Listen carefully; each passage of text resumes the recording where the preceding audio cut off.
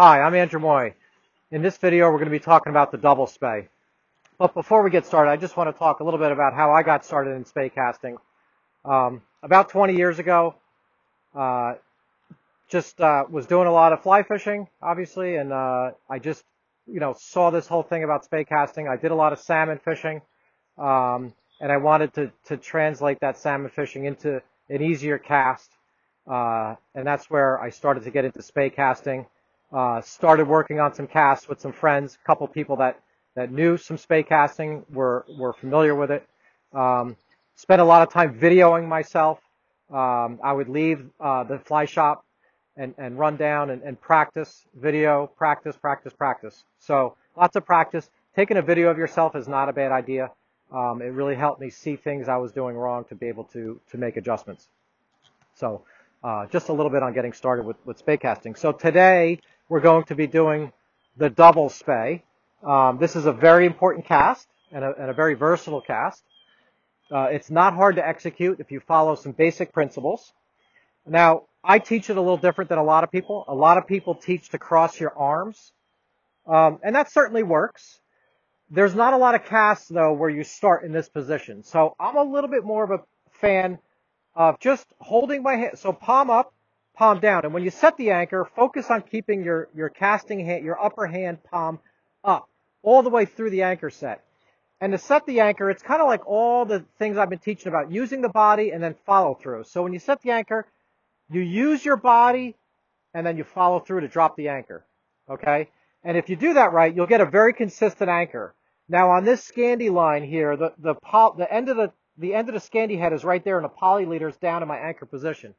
So when you're aligning your anchor and you're setting your anchor correctly, what you want to be looking for is you, you, you look at your target and you'll want to look that the tip of the Scandi head or your fly line where it meets your leader, or in this case on the Scandi line, the poly leader, where that junction is meeting the, the leader is in line with your target. So if I'm casting across here, I want the tip of the Scandi line to be right in line. That means that my leader and stuff is in the proper anchor position.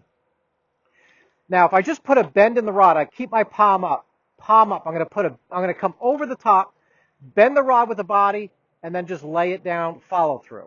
And now if you notice, I'm in a very comfortable position to start my cast. This is where I start when I do a single spey, when a switch cast, really every cast starts here. And then from here, I'm not going to move my arms. I'm just going to rotate level, follow through it perpendicular, and cast. So let's do that again from the beginning. Relax, palm up. Use your body to bend the rod. Float the anchor into position. Get the rod up about five feet above the water. Track the rod level. Follow through at three o'clock. Cast your target. And when you get to three o'clock, let's talk about three o'clock. And we had talked about three o'clock in some previous videos. So target is 12 o'clock. 3 o'clock is perpendicular. If we look at a clock this way, so 12 o'clock, 3 o'clock is where I stop my body and I just let my hands follow through. So I rotate body, hands follow through, cast. And if you notice that that D loop is aerialized, it's it's just above the water. You don't want the D loop down. So if I drop my hands or drop my elbow, I'm going to drop my D loop. So for example, if I were to set my anchor, okay, and I come around and I drop my elbow, I'm going to start to drop that rod and you're going to start to drag the line in the water. You're going to get an anchor that too much anchor and not enough D-loop. You want to keep that rod tip up, level, there. There's my D-loop cast. Don't put a lot of effort into your forward cast. Follow the principles of the forward cast we talked about in some of the other videos. And that principle again is that when you're coming forward to just pull the rod with your legs, pull short hands. Just snap your hands. So one more cast over the top of the body, palm up, lay the anchor down, rod up, level, follow through, fast hands. Thank you for watching. As always, hope the video helps you.